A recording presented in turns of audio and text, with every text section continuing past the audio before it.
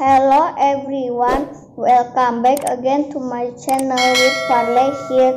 Farley from Primary 3 NGS Academy Boyong Indah.